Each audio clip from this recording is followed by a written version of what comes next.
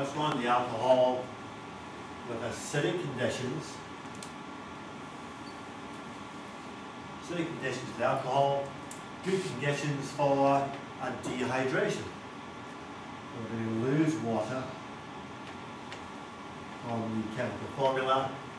So lose that alcohol group and a hydrogen from a neighbouring carbon.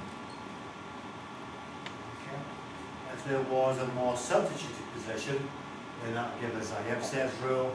There's no difference in this case.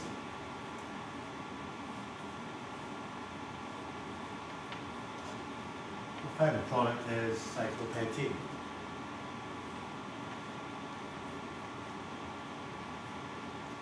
Next one with the potassium dichromate, which is an oxidizing agent.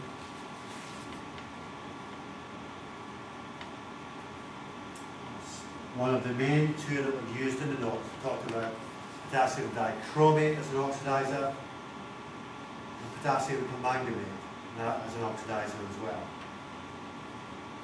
KMNO4. We're going to oxidize this alcohol group and removing hydrogens from either end of the carbon oxygen link and we'll produce a ketone.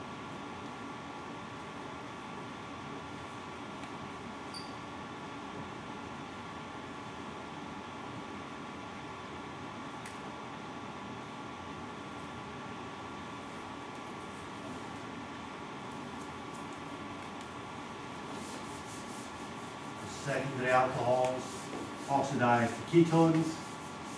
Primary alcohols will oxidize initially to an aldehyde but then go all the way through normally to the carboxylic acid.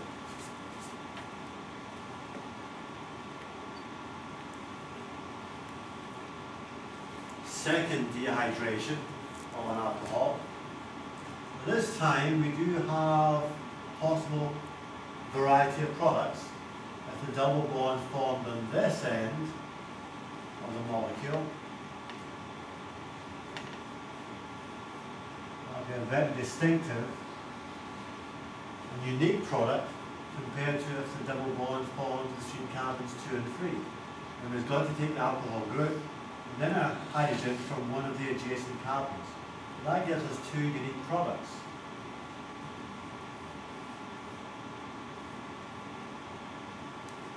Pen 1 or pen 2 And the pen 2 is going to be the major product because it's the one that obeys Zaitsev's rule. The more substituted alkene product is the one that prevails, at least in greater quantity. We will get both, but we usually want to emphasize what the major product will be. It's all about the energy involved and the energy of activation, the energy of that intermediate, which you don't have to worry about.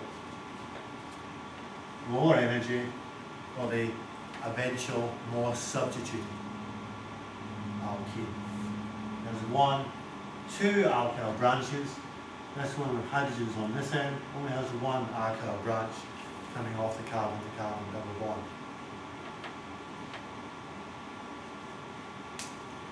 Next one is alcohol again. Oxidization, that's the KMNO4, potassium permanganate. It's a second oxidizing agent.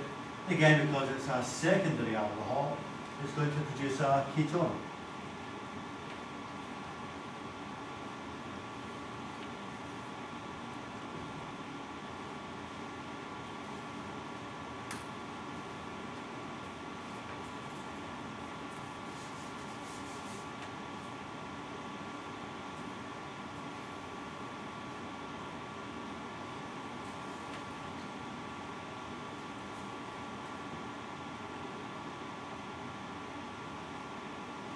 Last one on the page. Oxidation of a thiol. Oxidation of a thiol is normally between two adjacent molecules. We get that sulfur to sulfur.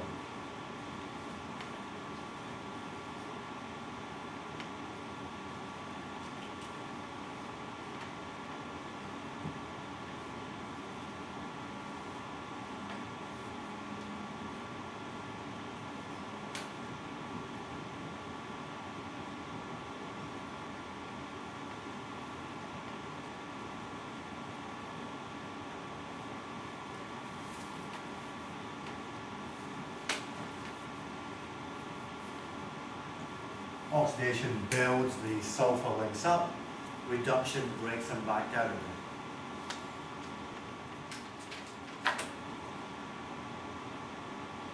So which organic would have the higher boiling point? The alcohol or the thiol? Ooh. Good question, Dr. Elliott. Any thoughts what it might be? What normally decides and dictates the boiling temperatures? How much energy it takes to separate molecules into the gas phase? How tightly are the molecules holding on to each other? How strong is the intermolecular bonding forces? What kind of intermolecular bonding forces do we get for alcohols or thiols? The only three kinds. Weakest kind we said was induced dipole to induced dipole interactions. We had dipole to dipole interactions. And we had the strongest kind of dipole to dipole interaction, hydrogen bonding. So our alcohols are capable of hydrogen bonding from one molecule to its neighbour.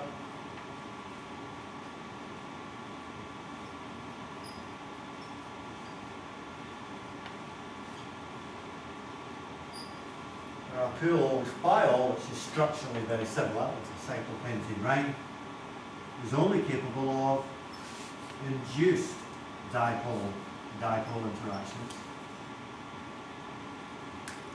So the forces of attraction are much weaker between molecules of the thiol. So it's going to have a relatively lower boiling point compared to the higher boiling point for the alcohol because of stronger intermolecular forces of attraction, hydrogen bonding from one molecule to its neighbour. Draw in oxygen, the hydrogen bond, and another molecule nearby.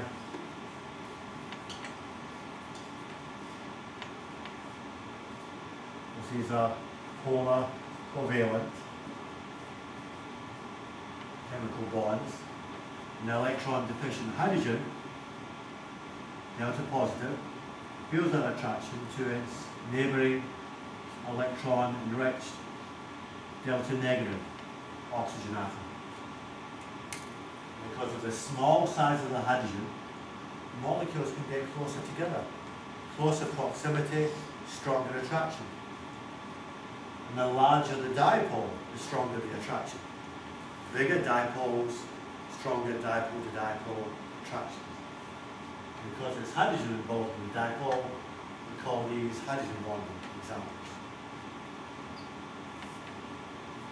The alcohol is a higher boiling point.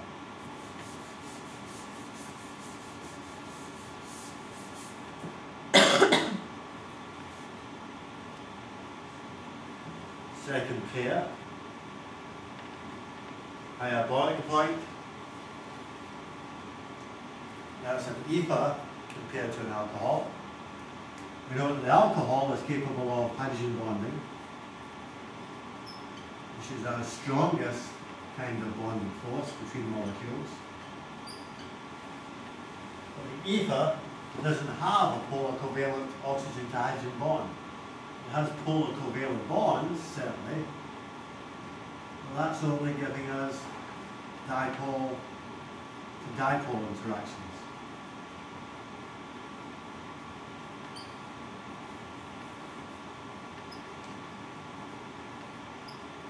Weaker force of attraction, lower boiling point. So again, the alcohol wins.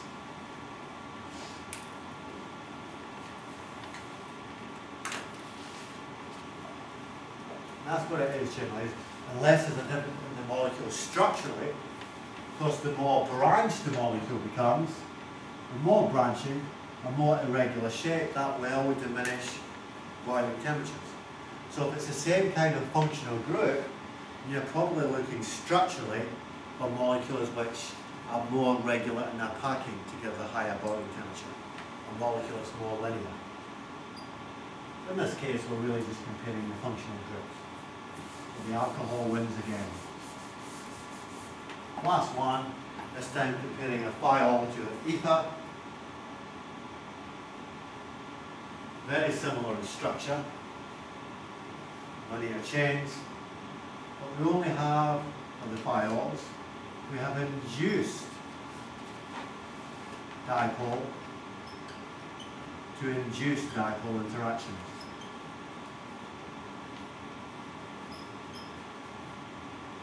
And our ether, because of those polar covalent bonds, give us dipole to dipole interactions. Much stronger form of intermolecular bonding attraction. So stronger dipole to dipole interactions. Molecules hold on to each other much more tightly in the ether. We have normally, as structurally are similar, we have higher boiling temperatures for the ether. Okay.